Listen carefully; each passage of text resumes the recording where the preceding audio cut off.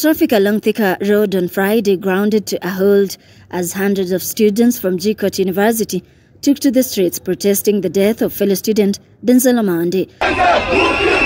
Armed with placards and banners while chanting justice for Denzel, the students marched to the Juja police station in Kiambu County in pursuit of justice regarding the death of Omondi. Imetuma kama comrades, wanakufa, watu wanauawa, watu wanaabdaktiwa, watu wanatupwa, watu wanakezeliwa. Kenya tunataka ni Denzel afanyiwe justice. The 23-year-old was among the thousands of protesters who stormed Parliament building on Tuesday, June 25th, during the anti-finance bill demos in Nairobi, with family and friends revealing that that was the last time he was seen alive. After Denzel was found, comrades were there. I personally was there. And they were telling us, we step aside, we can't take photos, we can't see the body. How? And then taking him to Thika. And then tukifika Thika pale tunaambiwa tuwezi ingia kumwona.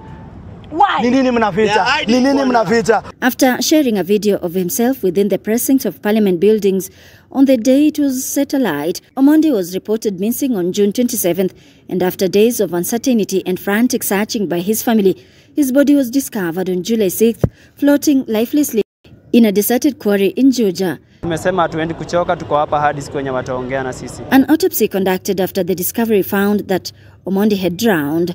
However, unsettling findings raised serious questions. Bruises on his head and legs suggested foul play, casting a dark cloud over the official explanation. Want to know what is the status of inquiry of his of, of his murder inquiry because clearly we are seeing an opaqueness in the way these invest- sham investigations are being conducted. His family and human rights advocates' family reject the autopsy results, insisting he was murdered. Investigators and the Independent Policing Oversight Authority (IPOA) are still investigating the circumstances surrounding Omondi's death, but have not yet provided a conclusive explanation. Electin Odera, K24 TV.